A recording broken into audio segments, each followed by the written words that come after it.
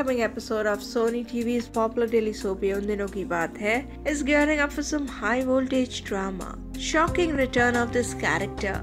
Naina's wedding rituals begin. Sameer and Naina's trouble seems to never ending as Yamunna's father asks Sameer to leave the house. Sameer is shocked as he was assuming something good now, but things are getting worse. Here, a shocking character will mark its entry. The shocking character is Nani, who is soon going to return back. Nani marks her return. Naina's wedding rituals begin. Nani will come to stay at the Agarwal house and will organize Naina's wedding rituals. Naina is happy as Nani had always loved her and now she is back to help her in thus wedding Siappa. So what do you feel about this? Keep watching our channel TV Prime Time for more such exciting updates and upcoming twists.